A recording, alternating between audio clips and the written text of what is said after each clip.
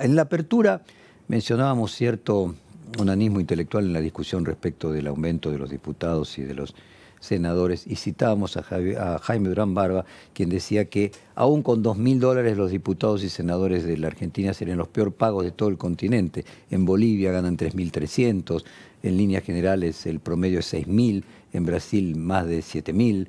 Eh, ¿Es una discusión absurda la que estamos teniendo? Jorge, ¿cómo te va? Bueno, sí, marca la, decadencia, la caída de la Argentina, de todos los salarios. La gente en general está sufriendo mucho. Indudablemente eso también es un síntoma. Fíjate, fíjate lo, lo loco de este tema, que empleados jerarquizados del Congreso a los que se les paga antigüedad y título ganan más que un senador o un diputado. Pero bueno, eh, a ver, es una problemática general. Lo mismo vi en este fin de semana que el presidente va a deshacer los aumentos, deshacer sería la palabra, dar, dar para atrás algo que él mismo había firmado respecto a los aumentos de suministro. Yo creo que hay una mirada totalmente equivocada respecto a esto, porque eso implica el deterioro profundo del Estado, de, aumentar la decadencia, y que solamente los, los que no tienen nada para perder, los que están incapacitados para, realizar ninguna tarea, los marginales, los, los que tienen vocación de delinquir, bueno, esos son los que van a ocupar los cargos públicos en Argentina en lo que viene, digamos. Este proceso termina con eso. Aventureros que toman el, el, gobierno y la actividad pública como una oportunidad, me parece que se desprofesionaliza la, actividad pública, se la degrada ante la opinión pública. Hay algunos colegas tuyos que les gusta eh, cuestionar y atacar permanentemente al Congreso. ¿Creen creen que sería bueno un país sin Congreso, les encantaría. Eh, creo que les gustaría mucho un modelo Venezuela, con una asamblea ficticia, o algún modelo de algún país africano, les encanta. ellos se soslazan todas las noches hablando tonterías en contra de la casta, se suman al discurso del gobierno y del presidente equivocadamente, y no hacen más que destruir la imagen y deteriorar la credibilidad de la Argentina. Así que, bueno, este es el cuadro. ¿Qué vas a hacer? Eh, lamentablemente, deshacer lo hecho es negativo. Implica una marcha atrás, una claudicación, un marco poco razonable y poco inteligente. Pero bueno, ¿qué le? Miguel Ángel, eh, yo volví de estar dos semanas afuera y me impresionó la semana pasada una foto tuya con Infran, eh, con Moreno. contame tú, propia visión de cuál sería el futuro del Partido Justicialista? Bueno, eh, en realidad es importante lo de Infran como presidente del Congreso. Después, si querés, en algún momento habrá que analizar la, trayectoria del gobernador Infran, que ha hecho un, proceso de gestión muy importante en Formosa. Bueno, pueden haber algunas visiones críticas, pero, pero lo, lo que está haciendo ahora es convocar al Congreso partidario. Eso fue lo que me informó para sacar fundamentalmente a una figura ya desgastada totalmente, darle licencia de por vida, que es el, el expresidente de la Nación, que es un hecho totalmente negativo e indecoroso para un peronismo que tiene que reconstruirse, al que le informé claramente y además lo dije públicamente. A mí me gusta ir a todos los programas, yo no hago cuestiones ideológicas y acepté una invitación en Duro de Domar, un programa que tienen profesionales y periodistas con, con un nivel y una posición política y un contenido mucho ideológico, no lo digo para descalificar, y así dije claramente que el peronismo tenía que darse un debate, que yo no volvía si no había una apertura, si un debate público de comprender a la Argentina y comprender el mundo en el que estamos, una visión capitalista, eh, una mirada de de productividad, de alejarnos de la patria del pobrismo, que entendía que la imagen de Quisiló en la legislatura el otro día, con la reiteración casi de, dije esto, una foto sepia, una foto en blanco y negro, una foto vieja, vieja en términos de que eso fue eh, el momento crepuscular del kirchnerismo, las señoras de la Plaza de Mayo, no estoy descalificándolas. Lo que digo es la estética, la escenografía que es importante también para la política. Esa escenografía, ese discurso del Estado presente, bla, bla, eh, los, los piqueteros, bueno, ese modelo de, peronismo está liquidado totalmente liquidado y que no cuenten conmigo. Yo tengo un partido chico, tiene una simiente en el peronismo, pero, pero no cuenten conmigo si no hay una voluntad política para reformar, para cambiar, para, para salir de la trampa permanente de volver a los 70, la lógica de la izquierda. Eso fue lo que le, le transmitía a, a Infran y también estaba en ese momento presente Moreno, pasaron unas señoras que estaban en, el, en la confitería en ese momento, sacaron una foto, bueno, eh, yo no tengo ningún problema en sacarme una foto, además. Eh, pero lo que pasa es que, no entienden ni analizan lo, lo, que uno dice, que es más importante a veces que la propia foto. Vos sabés que en los medios de comunicación y fundamentalmente en Hollywood, eh, trabajan el tema de la nostalgia con décadas, que tiene que ver retrotraer a cuando la persona tenía 20 años, que es el momento generalmente más potente y más feliz de la vida de la mayoría de las personas. Entonces, cada tanto se vuelve a un revival de determinada cantidad de años atrás, con cierto, con cierto grado de, aproximación. Uno puede decir que el kirchnerismo eh, tuvo la nostalgia de los 70, de que el gobierno de Alberto Fernández fue la de los 80. En los 80 había altísima inflación, eh, todas segundas marcas, no había productos importados. Eh, y no sé si con el mismo margen de, error uno podría decir que ahora estamos en los 90, que este presidente Milei reivindica de alguna manera la nostalgia de los 90. Eh, vos tenés una visión de la presidencia de Menem que siempre defendiste, más allá de sus críticas distintas a la del kirchnerismo. Me gustaría tu opinión respecto de Menem y de la utilización, así como Alberto Fernández utilizaba Alfonsín, la utilización que puede hacer Javier Milei de Menem. Bueno, no, no estamos en los 90. Mm. Los 90 tuvieron un proceso de crisis los dos primeros años. Acordate de la mm. hiper sí, sí. Y del cambio de ministros. La hiper que venía de continuidad también del gobierno, que además determinó que Menem asumiera seis meses antes su mandato presidencial.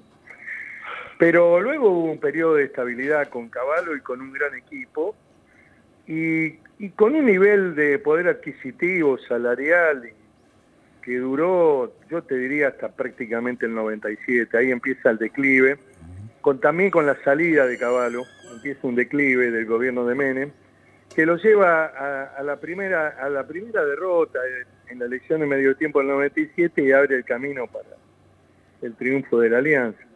Hoy estamos en una pauperización notable.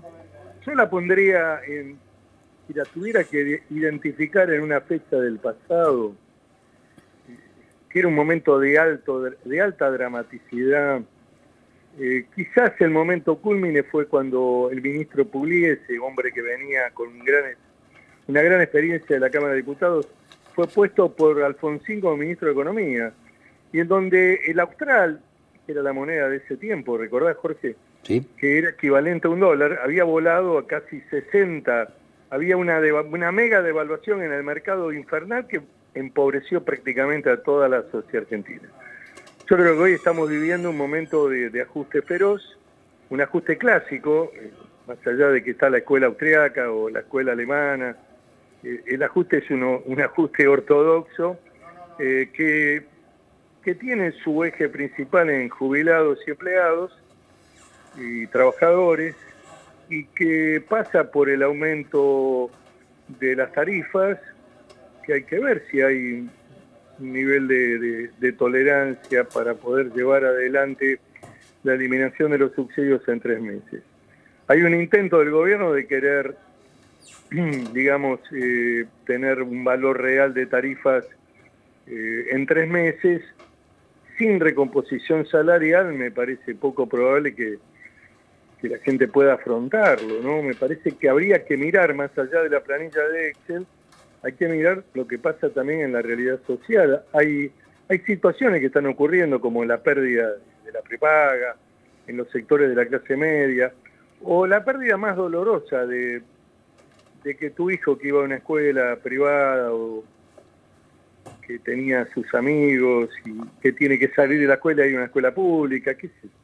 Hay un colapso en la escuela pública por la demanda que hay de, los chicos que quieren pasarse al sector público ante la imposibilidad de pago de parte de los padres. Bueno, todo esto está ocurriendo. Está ocurriendo un aumento sin techo. No sé qué está pasando con los empresarios argentinos en los supermercados, Jorge, pero nadie le da bola a este tema los valores que se ponen en los supermercados son superiores a los precios internacionales. Eh, y no hay techo, siguen creciendo de manera desbordante. Hoy va a haber una reunión, de, acuerdo a lo que leí en, los medios de comunicación, del ministro Caputo con los dueños de los supermercados. Bueno, no sé, ¿quién ordena este tema? Yo no, no digo de volver a precios máximos que han fracasado, pero pero este descontrol, que no funciona en la oficina de la, de la, Secretaría de la Competencia, que no haya regla de mercado, regla de mercado dentro de un marco de libertad incluso, donde uno, cualquiera aumenta cualquier cosa y, la gente no encuentra el techo en, en, el supermercado. Bueno, esto es lo que se está desarrollando en la Argentina. Bueno, vamos a ver cómo evoluciona. En el medio discutimos tonterías. Eh, en el medio hay un intento de distraer y de generar culpables, encontrar en el otro el enemigo. Eh, la casta está en el Congreso, el Congreso es muy malo para la Argentina.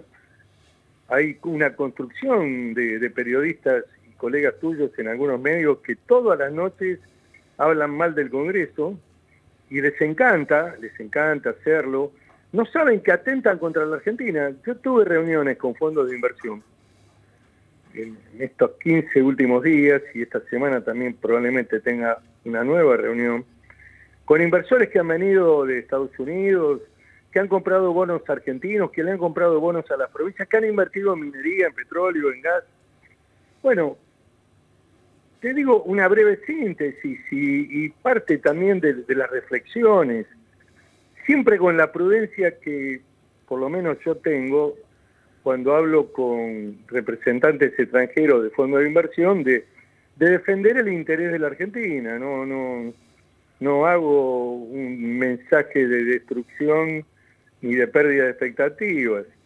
Eh, podrían decirte que muchos coinciden en el rumbo, en el equilibrio fiscal, que eso está bien orientado el gobierno, en la apertura, en la desregulación, muy bien. Pero hay otro tema que les preocupa y que estos muchachos que hablan todos los días en, los medios deberían saberlo, que es el tema de la institucionalidad de la Argentina. Digamos, el vínculo del Poder Ejecutivo con el Congreso y la confrontación permanente. Y la viabilidad institucional, cómo va a desarrollarse el gobierno en todo el periodo constitucional que tiene mandato el presidente, que tiene que gobernar y que tiene que hacerlo tratando de construir una mayoría parlamentaria, la que no tiene que agraviar ni ofender. Bueno, esto les preocupa a los fondos de inversión, porque como dijo la, señora representante de Estados Unidos en el fondo, de apellido Govinap, Gita Govinap, creo que lo pronuncio correctamente, ¿no? Perfectamente, Gita. Bueno, Guita, eh, dijo claramente, bueno, cuidado con lo social, cuidado, traten de equilibrar el sueldo de los jubilados, traten de ampliar la base institucional, traten de que las resoluciones que la Argentina toma en, en, términos de los cambios se hagan por ley, por ley, por ley, por ley. Es importante que el Congreso funcione y por ley. Y para eso hay que construir un liderazgo más amable, salir del estrés institucional, del agravio permanente, de, la destrucción de la institución Congreso, porque eso es, eso es el África subsahariana, es, la Uganda de Amin, qué sé yo, de la década del 70. Eh, son países que, que, no, Haití, qué sé yo, que no tienen Congreso. Los derechos y las libertades que sostienen estos, estos muchachos en los medios no los van a tener más si la Argentina va a una autocracia o va a un sistema de funcionamiento institucional donde el Congreso se convierte en algo parecido a la Asamblea venezolana, que vos sabés que, no gravita para nada en términos de la democracia eh, la República de Venezuela, bolivariana de Venezuela, hasta el nombre de cambió. Bueno, ¿qué quiero decirte? Que el tema es más complejo, eh, que no alcanzan a abordarlo, que tienen una gran irresponsabilidad en el manejo de la de la comunicación, creen que el mundo Twitter, que el mundo Twitter líquido, vacío, eh, que lo que se dice hoy a la media hora no vale nada, eh, que se instala una cosa y mañana se modifica, un, mundo, un mundo líquido, como dice Bauman, donde, bueno, una sociedad con, frágil, sin instituciones, bueno, es complejo para la Argentina eso. Es negativo para la Argentina. Yo conversé el otro día con Guillermo Franco, el ministro del Interior, es un hombre experimentado, que, entiende y, que comprende cómo es el proceso político. Eh, ¿Cómo se puede pedir el apoyo al Congreso? ¿Cómo se puede pedir el respaldo para que pueda haber afinidades, pueda haber una visión común de un país que tiene que salir adelante? a través del mecanismo del agravio permanente. Bueno. Miguel, eh, a veces el perro manso en algún momento puede llegar a morder, eh, Jorge.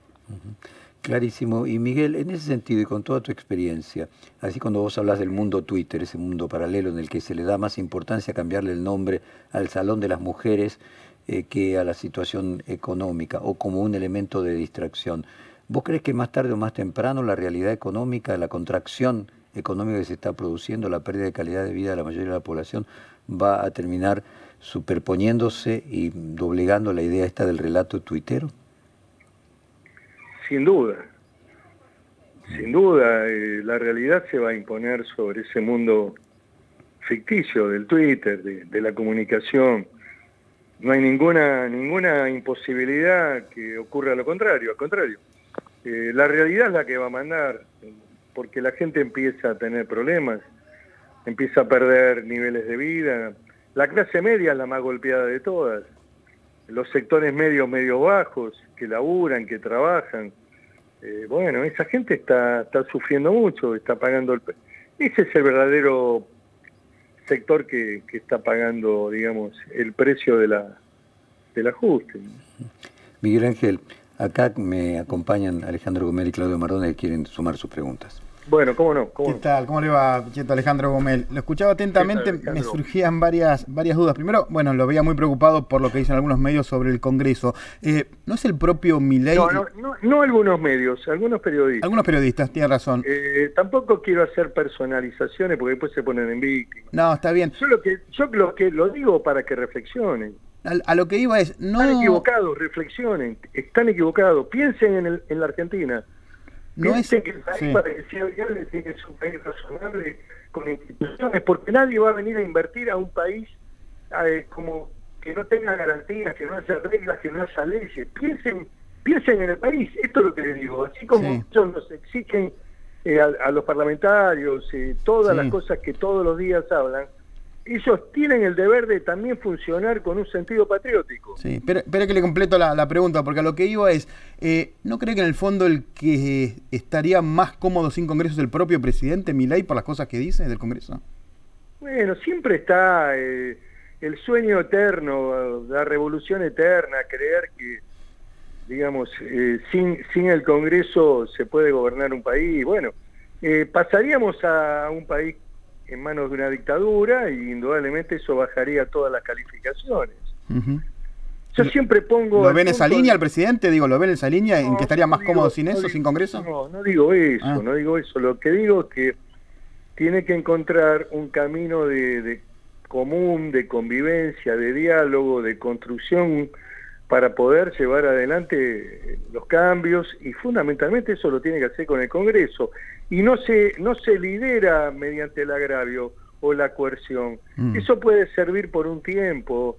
Indudablemente la sociedad quiere acompañar a un, liderazgo eh, cuando es razonable, cuando ese líder entiende los procesos que vive la gente, cuando tiene sensibilidad, ahí lo acompaña. Ahora, la coerción, el ataque, la presión, bueno, puede servir para amedrentar a algunos o a otros, pero no por mucho tiempo tampoco. Mm. Lo escuchaba hablar con Jorge de la década del 90, usted obviamente fue un actor principal de allí. Eh, ¿le, parece bien, le gusta verlo a Menem en el Salón de los Próceres, el nuevo Salón de los Próceres de, Casa de Gobierno y no verlo, no sé, no verlo a Alfonsín, no verlo a Perón? Eh, ¿Le pareció la decisión correcta? Yo no tengo una, así como creo que, que el gobierno de Fernández y el anterior gobierno también de Mauricio Macri tenía una deuda a partir de la muerte de Menem, mm. el, digamos el, en el salón en el salón de los, eh, donde están las imágenes de los presidentes debería estar la imagen de Menem. Mm. Están todos los presidentes, Alfonsín se la pusieron en vida, a Menem después de muerto tenían que haberlo puesto. Sí, ese de los bustos. Estos son próceres, ¿no? Con San Martín. Perdón, ahí exacto. Claro. el salón de los bustos. Bueno, lo otro, es, lo otro es una necesidad del presidente de identificarse con ese proceso. Mm. Yo tengo una mirada positiva de esa etapa, especialmente del primer gobierno de Carlos Menem, que ha sido un gobierno de, ordenamiento, eh, de, nivel institucional, de poner a la Argentina en el mundo, de reconstruir la relación con, con países importantes, eh, una mirada una mirada inteligente, comprender la, la etapa, era el tiempo del final de las ideologías, hay que comprender los procesos en su... Eh, cómo ocurrieron y qué era lo que el mundo también, eh, qué ideas en el mundo gravitaban. Porque si no, vienen con el diario de hoy a analizar procesos del pasado sin comprensión. Hay mucha ignorancia también en, algunos... Eh, en algunos expositores de, la opinión pública en la Argentina, porque hablan del pasado y no lo conocen o no lo han estudiado debidamente. Pichetto, ¿cómo le va? Buen día. Claudio Mardones lo saluda. Eh, diputado, bueno, usted nos contaba, estuvo con el ministro del Interior, Guillermo Francos, la semana pasada y parece que pasó un montón, pero hace muy poquito, hace nueve días, eh, el presidente Javier Milei habló ante la Asamblea Legislativa, habló de un pacto para el 25 de mayo. a la salida, Martín Yarlora, gobernador de Córdoba, dijo, falta mucho para mayo. Y venimos de una semana en donde eh, finalmente hubo algunas precisiones en la reunión con los gobernadores que se concretó este viernes. Eh, Francos le anticipó un poco cómo venía la reunión con los gobernadores sin pasar a llevar la investidura de los gobernadores y también quería preguntarle, eh, ¿cómo evalúa que se vaya adelantando un poco la hoja de ruta de lo que puede ser el pacto? ¿Por qué se lo digo? porque pareciera a veces que se retoma el capítulo fiscal que había quedado en el tintero en la negociación anterior y que sin, sin eso es muy difícil poder pensar en avanzar en la ley ómnibus. ¿Cómo lo ve usted, Pichetto? Primero que ya no es más la ley ómnibus, es un prospecto mucho más razonable y reducido de, de lo que fue esa mega ley y que creo que puede, puede tratarse en el Congreso de una manera más, más precisa, más, más razonable. Eh, hay un montón de, capítulos que están eliminados, digamos, la parte cultura, donde el gobierno se generaba enemigos estúpidamente, reforma del Código Civil, la reforma del Código Penal, lo harán en algún momento, lo presentarán por leyes por separado. Se eliminó la ley de pesca. Bueno, la estructura es más fiscal que, hay otros temas, está la ley de hidrocarburos. En fin, me parece que, es posible. Hay dos temas que son centrales allí. Estoy hablando sobre lo que me explicó a mí Guillermo Franco. Sí. La reunión de los gobernadores la conozco por los medios. Viene a cuento de un tema que yo veo que aparece con cierta conflictividad, que es el impuesto a las ganancias. Es un momento muy delicado donde hay licuación de salarios, donde no ha habido todavía recomposición ni paritarias, y lógicamente que el impuesto a la ganancia vuelve a pegar en la herida de, la gente que pierde poder adquisitivo. Y ya los gobernadores plantearon que algunos que no. Han planteado que ese tema no les gusta. Hay, hay provincias donde el sector privado tiene buenos sueldos, especialmente en la Patagonia, donde la, la minería, el petróleo paga sueldos buenos. Mendoza, en fin, hay varias provincias que indudablemente han hecho un Córdoba también. Exacto. Bueno, este es un tema a dirimirse, hay que ver que si, el gobierno insiste con esto, si lo aplica únicamente a los grandes ingresos, que podría ser ya un, un, impuesto a los ingresos más atenuado, de menor impacto fiscal y de menor relevancia para la coparticipación de la provincia. La provincia plantea otras alternativas que formaron parte del debate anterior, como el tema del cheque o eventualmente lo que podría haber sido que no fue y que no el gobierno dice que lo tiene que sacar, pero es uno de los impuestos más Usted se refiere al impuesto país, ¿no? Que parece que es el otro gran punto que podría... ese eh, tema parecería que no va, no va a prosperar. Tampoco prospera. Bueno, hay que buscarle alguna alternativa a esto para ver cómo se compensa lo que perdieron las provincias cuando en su momento Sergio Massa hizo un nuevo sistema de, de la ley de ganancias. Bueno, no pierdo de vista, Pichetto, y con esto cierro, que su bloque viene de presentar incluso Oscar, Agos Carreño y Ricardo López Murphy una serie de alternativas. Una es aumentar ganancias, eh, especialmente con los juegos de azar, y otro es meterse en la discusión del subrégimen de promoción industrial de Tierra del Fuego. ¿Cree que alguna de esas propuestas se pueden poner sobre la mesa? Son dos temas que fueron omitidos en términos de una mejora en la recaudación, a mí me parece que esos temas deberían analizarse y, estar dentro del debate. Son aportes que han hecho estos dos diputados que integran mi bloque y que me parece que han realizado un trabajo muy sólido, muy eficaz, y es una propuesta para el debate de la, de la ley que, va a volver a entrar ahora en discusión. El otro tema muy sensible es el tema jubilados. Son los dos temas que yo le planteé al, ministro como, como temas complejos, delicados, en donde había que encontrar un, camino de, común acuerdo con el gobierno para tratar de mejorar el salario de los jubilados que ha quedado depreciado, deteriorado y destruido con la fórmula Fernández, que nadie la menciona. La fórmula de Fernández fue letal para los jubilados, porque cuando la hizo, después de un año de tenerla suspendida, la fórmula anterior de Macri, que era inflación más salario, eh, no pone el, rubro o el ítem inflación en la fórmula de jubilados. Con lo cual, en un país como este, donde la inflación es uno de los problemas más graves que tiene el país, lógicamente que iba a producir un, una situación de, de pérdida del poder adquisitivo del jubilado a lo largo del tiempo. Ahora bien, hay que tratar de reconstruir eso, nos tenemos un planteo de actualización por el índice de precios al consumidor desde el mes de enero. Bueno, vamos a ver. Hay un pedido especial que ha hecho la coalición cívica para el día miércoles. Vamos a ver si tiene quórum o no. El Congreso ya empezó a funcionar en términos de las sesiones ordinarias, por lo tanto tiene vida propia. Miguel Ángel, una pregunta final. Eh, tiene que ver con esto de Macri en su reciente declaración de que tenía Trump al Partido Republicano detrás, tenía Bolsonaro, el ejército, las Fuerzas Armadas brasileñas, eh, y que Milei solamente tiene a su hermana y, eventualmente a sus perros. Eh, la puja entre Milei y Macri, la idea de que si a Milei le va bien, absorbe, eh, subsume, insignificantiza al PRO y si le va mal arrastra al PRO en su desfortuna. ¿Cuál es tu propia visión del futuro del PRO y al mismo tiempo de cuál tendría que ser la alternativa de oposición electoral en 2025 a este gobierno si es que Cambiemos termina siendo subsumido dentro de la Libertad Avanza?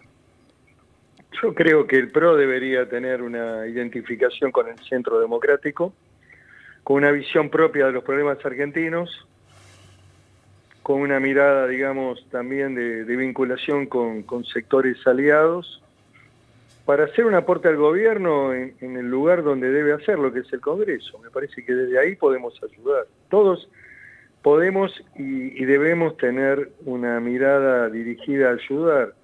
El gobierno tiene que dejarse ayudar. Clarísimo, Miguel Ángel Pichetto.